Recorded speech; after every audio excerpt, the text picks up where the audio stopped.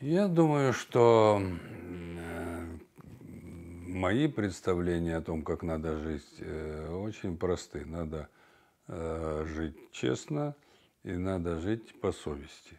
Потому что самая большая беда сегодняшнего времени, вот после перестройка, перестройки, это то, что время настало бесчестие и бессовестность.